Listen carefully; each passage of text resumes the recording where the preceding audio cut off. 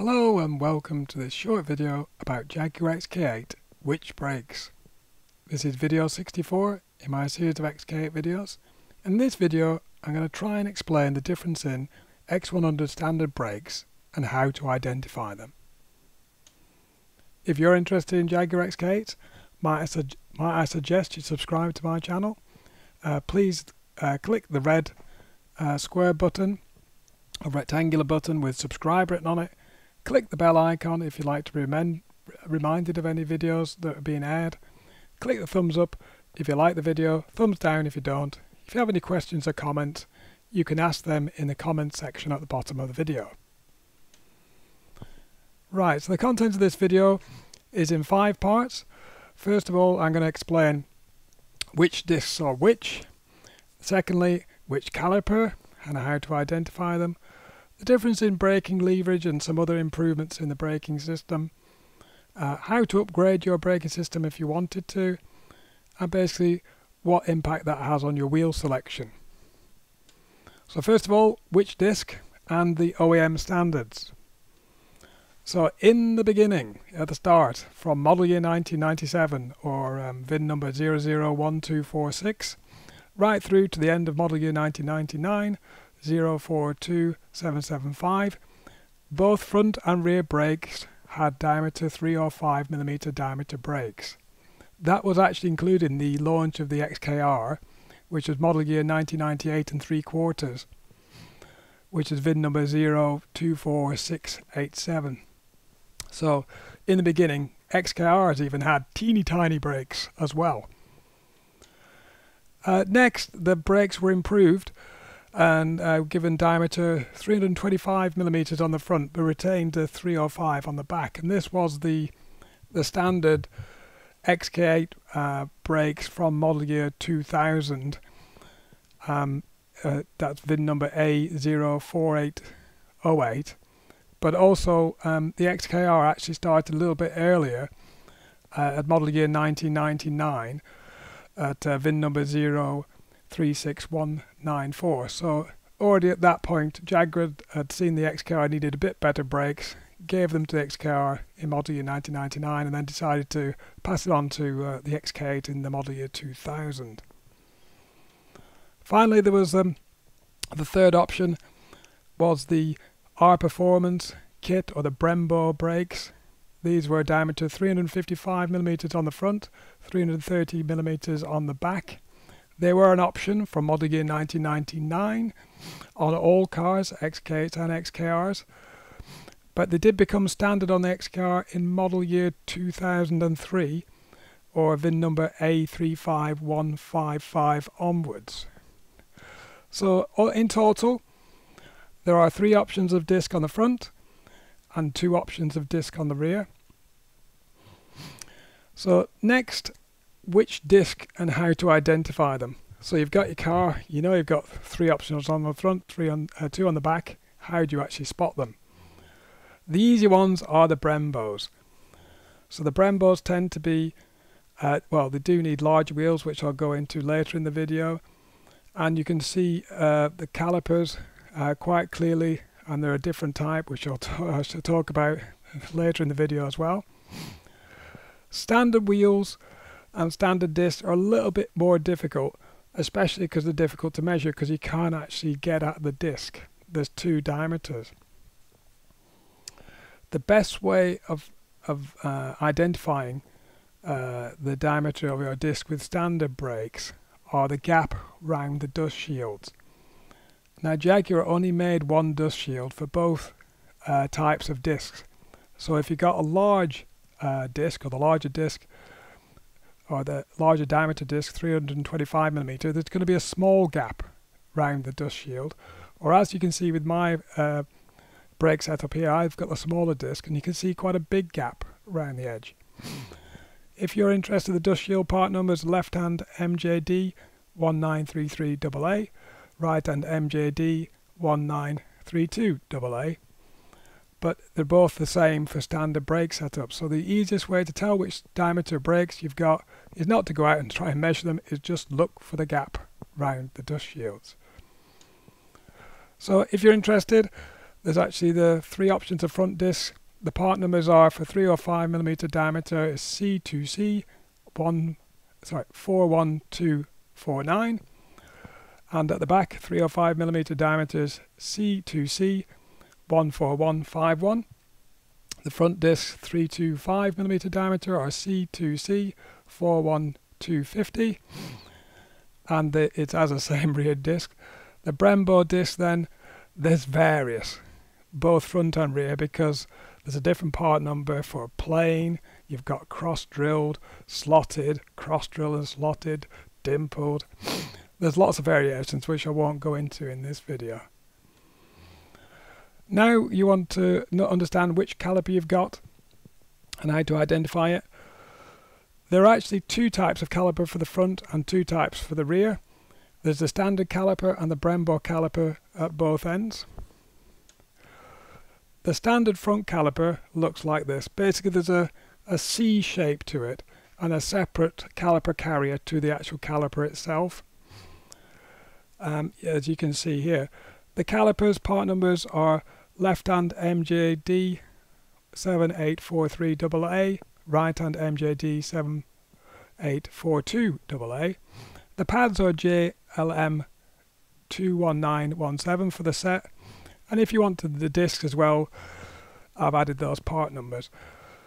So if you're looking for a standard front caliper, you're looking for a caliper that looks like that. They're generally unpainted uh, as they come out of the factory but a lot of enthusiasts like myself paint them various colours so you get red, silver, um, gold in this case. The standard rear caliper is a similar design. You've got that C shape around the pad, separate caliper carrier and the caliper itself. That's how you identify the rear calipers being standard. The caliper part numbers left hand is MJD 7853 AA, right hand MJD 7852 AA. The pad's JLM 21918 and there's actually shoes which I'll go into a second and the discs are, are the part number I've mentioned previously. So not particularly unique about the back brakes but used by other manufacturers as well. There's a second set of pads or shoes in the rear discs themselves. So inside the rear disc there's a set of brake shoes which are operated by the hand or parking brake. These shoes are standard, whether you've got Brembo discs or standard discs, and they are JLM 2209. They're actually, uh, the, the handbrake operates a series of um, pulleys in the center of the vehicle, then there's a brake equalizer, and then that pulls the um, the brake pipes from each side. It's, it's, it's a mechanically operated system. Brembo, Brembo calipers are quite different and there's no caliper carrier most of the time. It's a solid lump, they're a lot larger and they look like this rectangular shape. The part numbers do change depending on the colour, either silver, grey or red depending on the, the version of car you have. But the part numbers for grey, the left hand is uh, front is MXD 15113CA, right hand MXD 1512CA.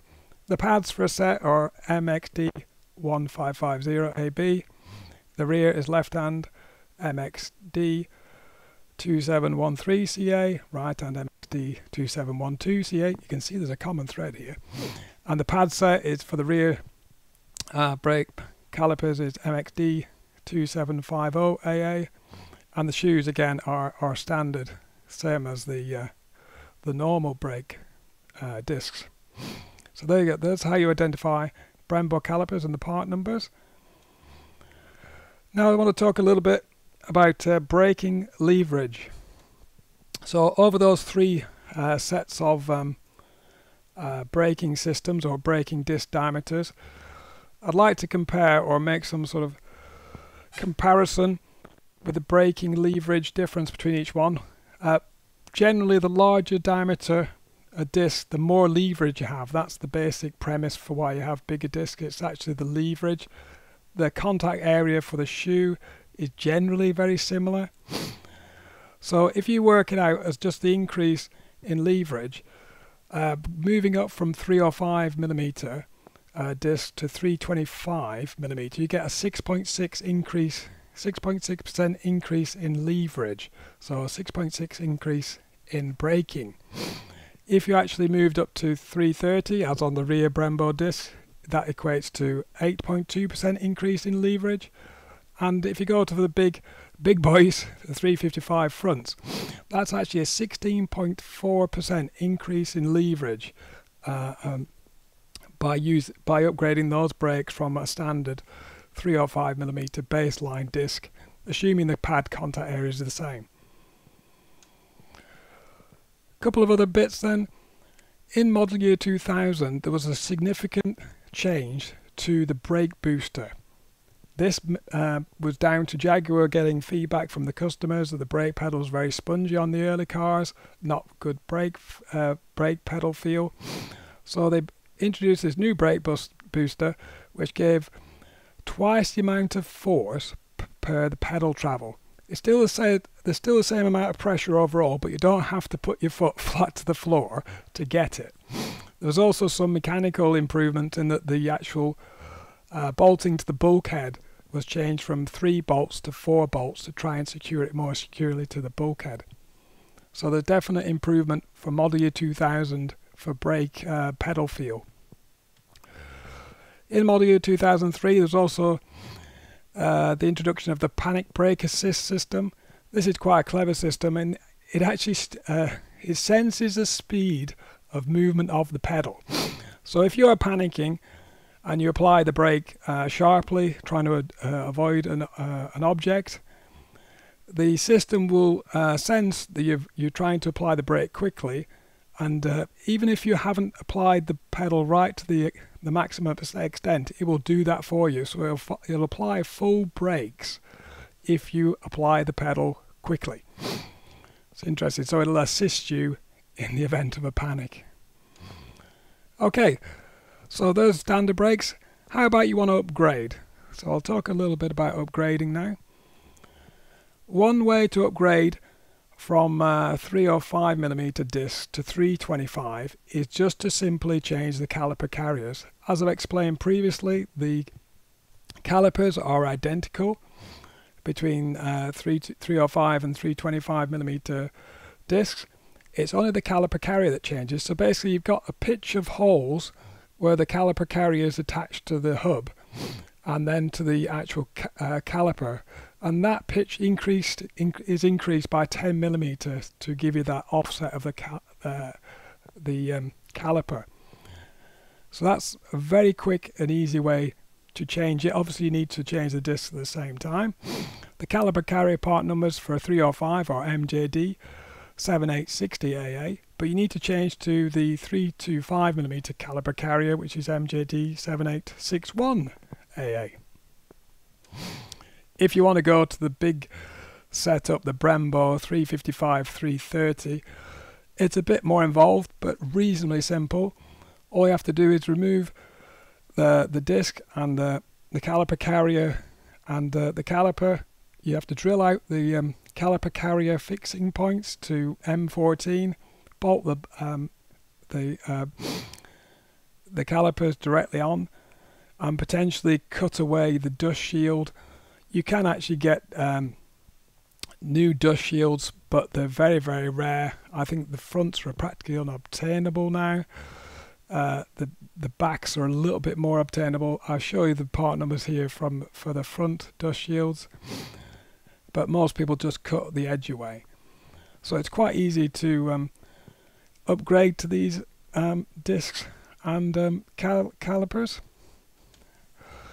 So if you're thinking of upgrading, what's the upgrading cost per percentage increase? So if you were to upgrade to 325 from 305, the caliper carriers cost roughly £50.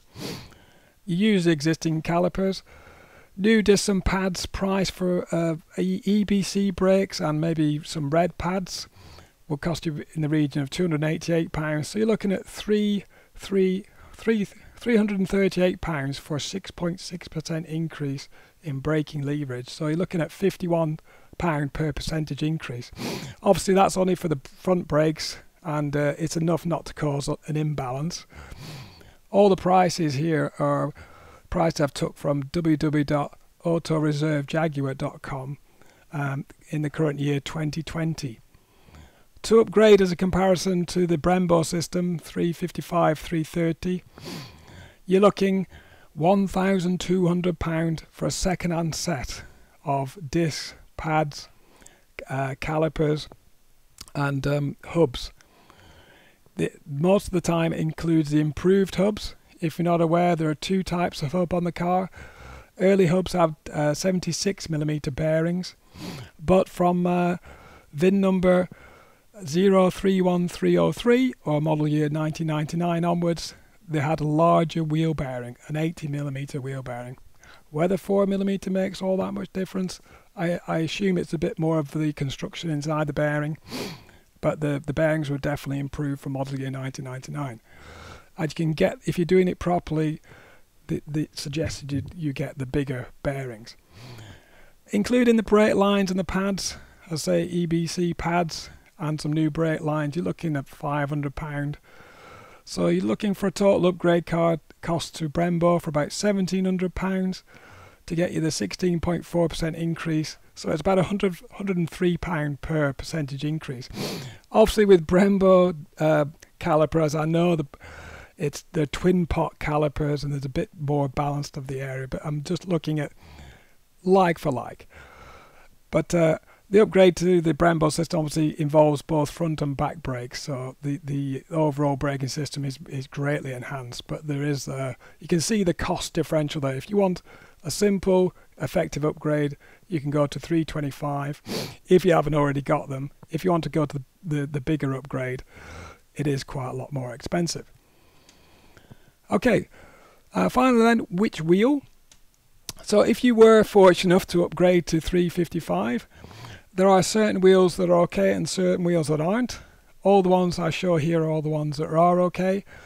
Nothing generally that um, is a, a 17 well all 17 millimeter wheels are not applicable there's a couple of 18 inch wheels there's actually the hydra which became standard on the xkr and uh, the winter bbs wheel and the milan uh, two-piece BBS alloy. They're 18-inch wheels that are okay for Brembo. There is uh, one other aluminium whole-piece wheel, the Atlas, at 19-inch. And then you've got all the BBS split rim alloys. So you've got the Paris, Detroit, Sepang, Montreal, uh, Perseus. I think there may be a couple of others, to be honest. But you need to be sure with the Brembo uh, system, not only have the bigger wheel, but also the offset because the calipers are quite um, wide and they can clash uh, to the inside of the wheel.